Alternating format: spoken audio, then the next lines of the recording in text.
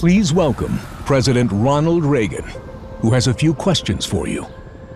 Well, well, well, well, well, well, well, well, well, well. you know something?